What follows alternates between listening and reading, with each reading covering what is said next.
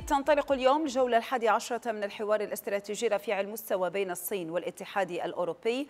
وسيشارك في جولة الحوار وزير الخارجية الصيني وانغ بي وجوزيف بوريل الممثل الأعلى للشؤون الخارجية والسياسة الأمنية للاتحاد الأوروبي.